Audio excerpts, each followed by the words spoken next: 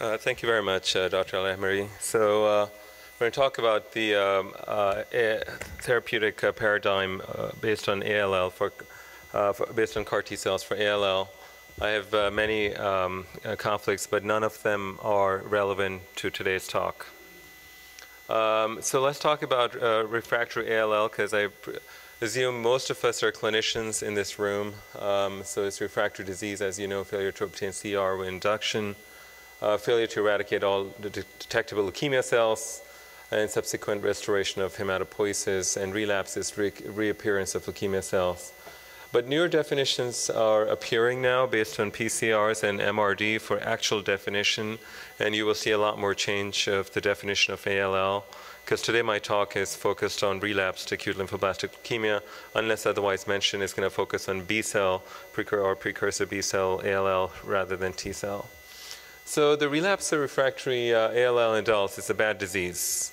Um, there's a slight difference in the, the outcome uh, of uh, ALL in pediatrics and adults. So today's talk is mainly on adult ALL. Uh, as you know, that this is one of the original papers by Fielding et al. Um, and colleagues um, based on the American and the, uh, the MRC study. The majority of the adults diagnosed with ALL eventually relapse after initial CR and about a quarter will have resistant disease, and uh, a lot of them will die in long-term follow-up. Things have changed. This is 2007, based on 2000 uh, data from before 2000 as well as up to 2005 or so. Uh, so, uh, but significantly hasn't changed. When I focus on CAR T cells, um, I'm going to actually focus on an area where, which I think is extremely important as quality of life and patient-reported outcomes. So I'm, I'm going to ask the audience to predict the graphs or think about the graphs of survival or numbers based on what how a patient thinks rather than how physicians think. Because Jerry Groopman's uh, book of how doctors think actually is alarming to indicate actually how we get tunnel vision and focus on numbers rather than patients. And the other book actually written a long time ago by LaFontaine um, really summarizes how actually patients are feeling, and that's what we need to incorporate in any trial that we do, anything we talk about today uh, whether it's ALL, myeloma, lymphoma, leukemia, sickle cell, gene therapy, CAR T cells. Um, and, and think about like physicians when we're thinking OS and PS, great. MRD negativity, look at the PET scans. But at the end of the day, a patient is asking, am I going to get, get cured? Symptom management, uh, am I going to get better or not? Is my child going to get better or not? So let's focus on those questions every time we're looking at a graph. So the common treatments include uh, cytotoxic chemotherapies for relapse of uh, ALL, blinatumomab or INO, transplant, CAR T cells, palliation with supportive care only, like corticosteroids or corticosteroids plus vincristine, uh, are a combination of above. But what sequence, if, if, if some of them are uh, available for treatment and post-transplant relapse, the treatment's different? None of the above as well. I mean, and, and all of the above, or, or uh, various combinations. So that's the question. Now, this is the last uh, NCCN guideline paper uh, for the insurance companies for approval of therapies. Obviously, they don't say this is the best or the second best, but they just give you throw a kitchen sink on you that uh, you know these treatments are available. So I want you to focus on on uh, look at the pH negative ALL. I mean, you have clinical trial should be the first uh, uh, preference. And we should try our level best to get clinical trials. And that's how it makes, um, that's how we make progress. But in the absence of that, INO Blina or Tisagen, which is a CAR T cell, or cytotoxic chemotherapy, there are four options in the people who are not entirely comfort care. So think about these four options and keep those in mind as we go through. Uh, classic chemotherapies are many. This is tip of the iceberg, by the way. In different countries, it's treated differently, in fact. In Kenya, things are different. India, things are different. Japan, things are different. But it could be cytarabine-based regimens, which are the most common, by the way. Clofarabine, Mopad, I'm going from down to up, lipo uh, liposomal vincristine, R3 protocols, uh, FLAM, FLAG-IDA, augmented hyper-CVAD, hyper-CVAD, with or without Rituxan, by the way. You can add Rituxan to all of these, or none of these, in fact. So this is uh, just a general spectrum of some of them. But uh, let's look at the classic chemotherapies. This was Ara-C plus one dose of uh, IDA, and indicating that there were uh, 11 CRs and one treatment-related death. Again, the, as most, most of the studies, there's some quality of life. So either you look at the overall survival, you look at the CR rates. CR rates are 38%. So classic chemotherapy, one third of the people get a CR. What do you do next? Typically, in a, in a young fit patient, allogeneic transplant.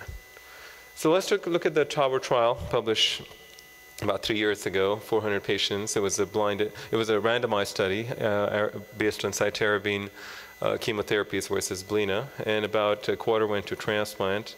The median OS, the first number of 7.7 is uh, is uh, the blinatumomab versus four months. So statistically significant. That's great news. That's a win-win. You met the primary endpoint. You're a winner. But to a patient and his son, tell him that at the end of three years, everybody is going to die. The majority are going to die, but there's a three-month difference in survival initially. That doesn't sound great. That certainly doesn't sound great. The CR is 34% versus 16%. It's clearly a winner. I don't need to give you a p-value here. Six-month EFS was different. Six-month OS was slightly different. There was a 15-point difference in six-month survival. And side effects were significantly higher in the blinatumomab trial. So you have a safety versus survival issue. And this is the, uh, the actual graphs. As you can see, uh, the, the, um, uh, the, the, the, pointer is not working here. So let me just, I don't know, uh, I don't have a mouse here, but uh, if you see the top graph of survival, how many people are alive at 24, year, 24 months? Not many, in fact. At the end of the day, at two years. And what about five years? not many are alive. So if a young patient, you're going to tell this that it's a wonder drug. Five years, not going to. It doesn't matter to a lot of people when you think like a patient. Well, let's look at the INO trial. It was again a positive trial, so-called positive trial is statistically significant where a key opinion leader is on the stage of ASH or, or, or TCT or EHA and just astoundingly showing you the p-values and confidence intervals that we met the primary endpoint. It's a great study. But if you look at the actual median overall survival of one month difference, I mean, honestly speaking, if you were a patient, how would you, how would you feel actually that this, this combination gives you one month extra survival? Well, in fact, the answer, they very rightly so in the paper, that this is a bridge to transplant, not the definitive therapy. Well, certainly it doesn't sound like a blockbuster here based on numbers to a patient. To a physician, yes. So that's the difference between thinking like a patient or thinking like a clinician. And that's why we have to keep and start thinking like a patient. If I were a patient, how would we feel? This is, this is a graph, actually, end of uh, 40 months. Uh, many, many people have actually died at the end of the day. So let's just change gears to CAR T cells, keeping in mind the same phenomena that you have to think like a patient and be on the patient's side and be a true patient advocate that think every kid who comes in, 15 year old, is your son. So uh, the CD19 CARs, uh, the, the, the, famous trial from CHOP, 30 children, adults, primary refractory disease with 10%, 60% was post-transplant relapses, well, the, the CR rates were phenomenal, 90%. We have not seen those kind of CR rates actually with the cytotoxic chemotherapies, immunotherapies, BiTEs, uh, or different kind of uh, immunotherapies. And the six-month EFS uh, was was 67%, uh, OS was 78%, which is phenomenal. In fact, CRS was a problem about one third of the people. Uh, a lot of people ended up in the ICU. And this is uh, Shannon Maude's uh, paper in New England Journal 2014. I'm going to show you the 2017 Jae Park's paper after this one, but this actually, if you can see the six-month survival, you see only one bar at the top, um, uh, the dark one, because this is a single-arm study. So there's no randomized trial, by the way, at the moment published for CAR T cells for any disease, period, let alone ALL, in fact, as far as published data is concerned. So the um, uh, this is a month since infusion, so actually you're seeing the plateau that's making an effect. So it is really making a difference in the patient, in the survival as far as that's concerned. But long-term survival we don't have, in fact. The, this is uh, another study, the single-arm study. This is um, CD19 28 uh, CAR T construct, C again CD19 again. Uh, I'm not going to talk about the basics of CAR T cells because in the morning you had many talks uh, by Dr. Rafiq and others on the basics of CAR Ts and constructs and vectors and uh, uh and, and, different type of uh, first generation, second generation, third generation CARs, second generation CAR. Uh, been tested the most. Um, the CR was 83%, again way above the one third, and the EFS was 13 months. At 29-month follow-up, and survival was 13 months. So uh, certainly, overall survival uh, of 13 months doesn't sound great, but certainly much better than any therapies as far as historical uh, controls are concerned. Nine patients were MRD positive had uh, CAR T, um, um, uh, after CAR T had a relapse, CD19 escape, we call and uh, CRS was 85%. Severe neurological toxicity was 42%. So that's the bottom. That's important to know. So we have to improve that. One patient died of multi-organ failure. So Jae Park was going to be here. In fact, he couldn't come. Um, so this is uh, his uh, paper in New England Journal a couple of, year, uh, couple of years ago. And as you can see, the high burden disease folks did not do well, even with the CAR T cells. In fact, and, and those, one, those of who are MRD positive after CAR T cells, uh, they don't do well. And in this study, in fact, they didn't do well after allotransplant either, by the way. So it just tells you that the high disease burden of ALL is a bad disease. At the moment, we don't have a superstar magic drug for 99% of the people. We don't have a imatinib for these people. So um, this is uh, Jae Park's paper again, showing excellent results of overall survival. As you can see, the top uh, right, uh, sorry, top left on your side uh, curve uh, going all the way to 40 uh, to, to 60 months in fact showing the plateau which is continuing not dropping off steeply. So then a lot of questions arise. When do we use CAR T cells? Before transplant after transplant GVHD, no GVHD? Should we vaccinate these people? Should we do Belina, or INO before transplant, should we do cytotoxic chemotherapy before transplant? How long the GVHD drugs should be off? So we started the international panel meeting at ASH uh, three years ago, in fact, and then we met again at the TCT at that time, and then EBMT. And we got all the people from FACT and JACIE, and we got all the people from EBMT leadership, including the president at that time, Mohamed Mohty, and other folks in many countries, in fact, uh, from, uh, from uh, Germany to Israel to uh, France and, and many other countries together. Uh, all the CAR T experts and, and, and indicated that, you know, we got to make guidelines for the practicing clinicians. Most of you are not doing CAR T cells day and night. So you need guidance actually when to use them, how to sequence them.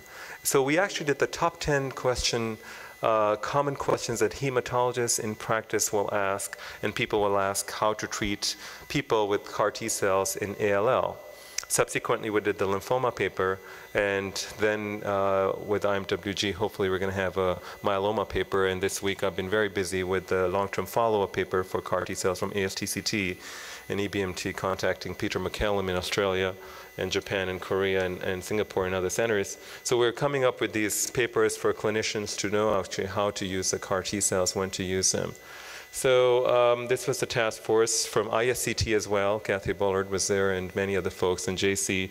We wanted to be all inclusive and we still want to be all inclusive because it's actually uh, doesn't seem wise to consider CAR T cells for 11% of the world, which is the population of US and your EU combined, and rest of the 89% of the world has no role at all although they want to do it. So how do we make things better, in fact? And this is one of the ideas actually in the long term, how to make cars better, in fact, uh, whether it be allogeneic car pools or whether it be something else.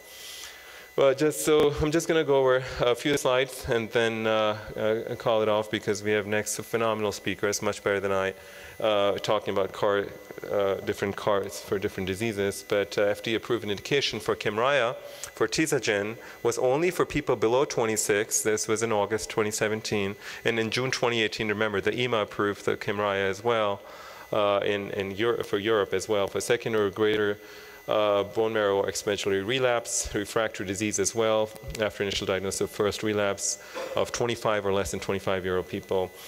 Uh, and referral to CAR therapy center was very important actually. When do you refer the patient? Well, the answer is when they have primary induction failure, early, re early relapse after achieving first CR. Adult patients with relapse and refractory B-cell ALL, don't wait for multiple relapses because by, by that time the burden of CARs is very, burden of disease is very high. And I showed you Jae Park's paper, it doesn't actually help too much if the burden is extremely high.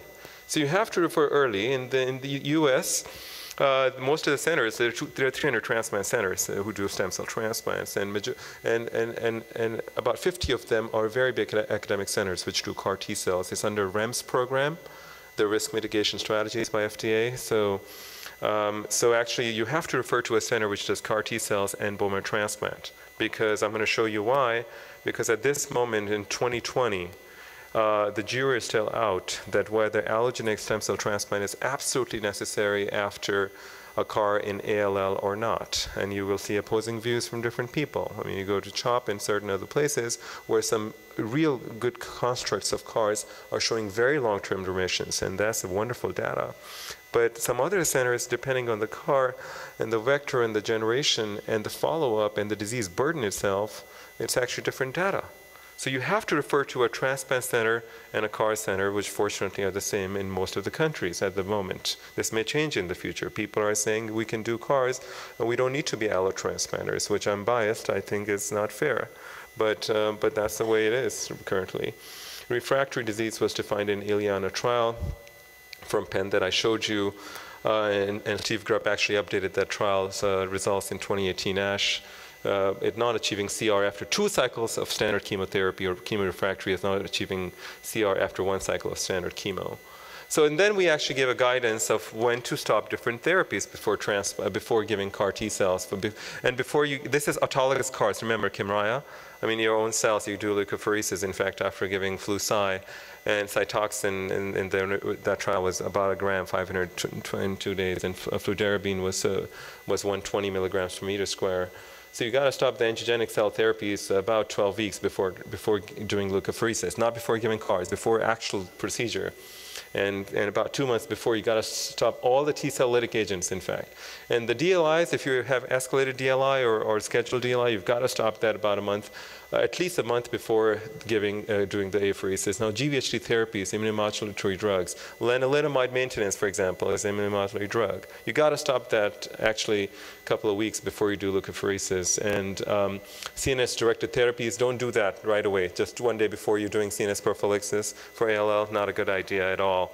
In fact, short-acting growth factors stop them five days before, and cytotoxic chemotherapy and systemic steroids definitely stop them three days. So you can't give a whole load of CAR T cells at, at, at, and at the same time you're doing high-dose corticosteroids. That's not going to work, in fact. So we give we give some guidance actually, um, and then this is a, a, pictorial diagram in a table form about when to stop, when not to stop. But these are the common agents: uh, vincristine, 6-MP, thioguanine uh, as well as PEG asparaginase. There's a lot of questions. We had a lot of debates because, as you can see, there were like 30, 40 authors from all around the world.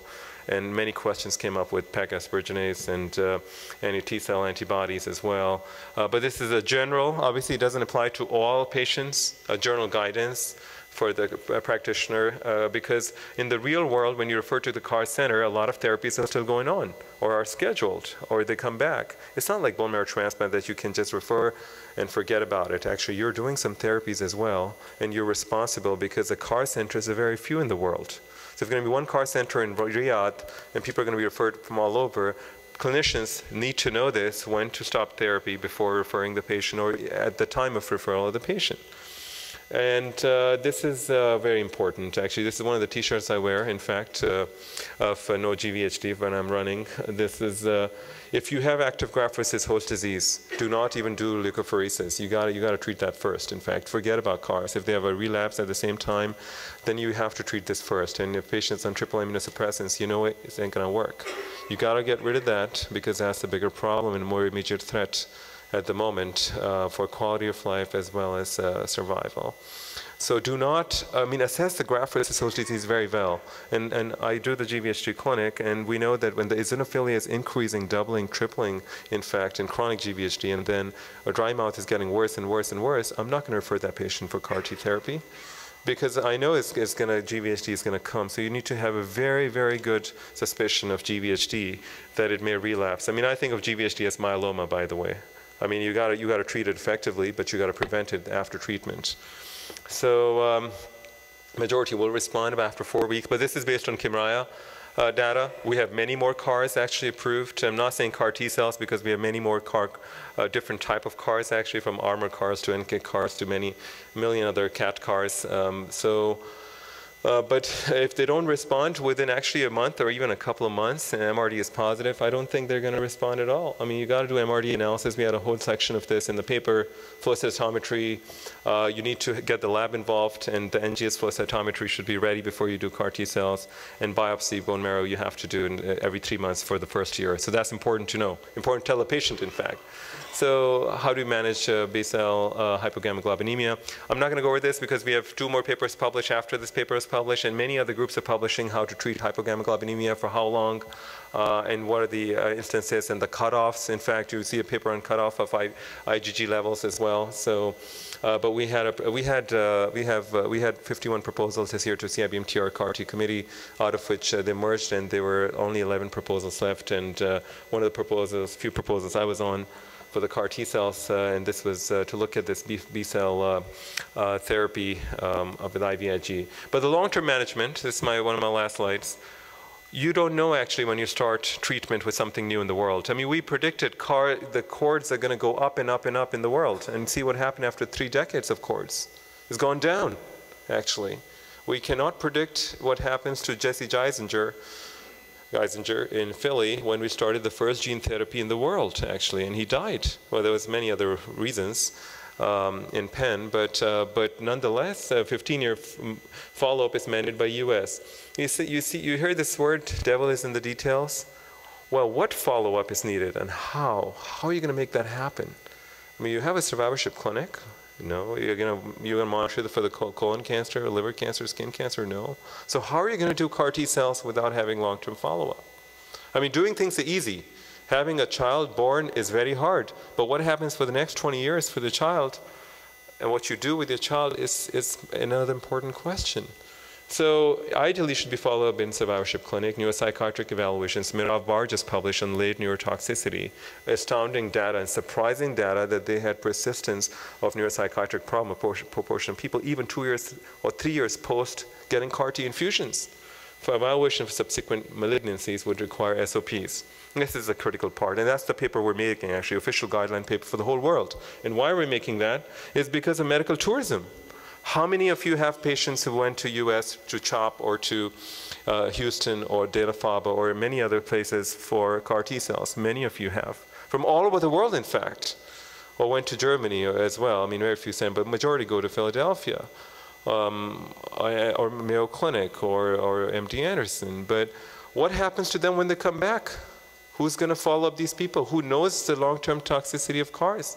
So the message today and I'm very vocal in saying that at ASTCT, I had presentation um, back in Orlando last week, and, and many of the folks are saying that you have to follow these people.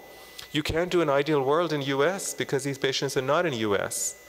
From Egypt, from Saudi Arabia, from India, all, all the rich people or the government affords actually sends these people from Malaysia, China for CAR T cells there. China, many centers are doing it, much more than US, but uh, the rich people are still going to US. One so, so I'm almost done. This is the future, efficiency. I'm not going to talk about the detail, but efficiency of the car and car constructs and the vector and all these things, um, they're, they're Saad Kenderian here and many other world gurus here. I'm not going to talk about that, but effectiveness has to increase. Expansion, long-term expansion has to increase. And there's a lot of things that can compromise the long-term expansion, not just the construct itself, in fact. Cost effectiveness must be evaluated. We see many papers in that, but no good paper that tells you about developing countries. In fact, clinical trials comparing other modalities to occur in lymphoma, we have three trials starting for randomized uh, CAR versus non-CAR transplant. And it's going to take years for that to be published. Today, we have single-arm trials, single-arm only published for CAR T cells. GVHD mitigation strategies, as you know, alpha beta depleted CAR T therapy trials have started already. Fortunately, and you know, the NK cell trial by Katie Rezvani, our group, is already published, in fact, showing 13 patients with no graft versus host disease, in fact. Wonderful trial, in fact, and that has to be in many other groups. Karolinska group is doing that study as well. So patient-reported outcomes must be assessed via validated quality of life scales. If you don't have PROM, then I'm going to reject every study that's going to come to me for, uh, for CAR T cells because you need to have quality of life assessments, if, especially if it's not a randomized trial. You need to see how the patients are feeling, and that needs to be captured from patients, not from physician-reported outcomes, in fact. And that's because that's where my survivorship thing comes in, that you need to think about a patient. With that, I'm going to end on time. Um, I have many acknowledgements that I cannot fill in many screens, in fact, but I'm very thankful to my bone marrow transplant, the, the, one of the most wonderful group at King Faisal Hospital, um, uh, all the 14 consultants and pediatric group as well, as well as Mayo Clinic bone marrow transplant team, the ASTCT leadership, ISCT leadership, uh, NIH uh, late effects panel that we made with Steve Pavletic, FACT leadership as well, uh, patients, patients, caregivers. And I, see, I show this picture in most of my talks. One of my greatest inspirations, which is an acknowledgement, is Edon Thomas, who has passed away. But this guy actually has changed many things in the world because of 40 million donors in unrelated registries. So thanks to Anthony Nolan and his mom for starting this unrelated donor registry. Thank you, everybody.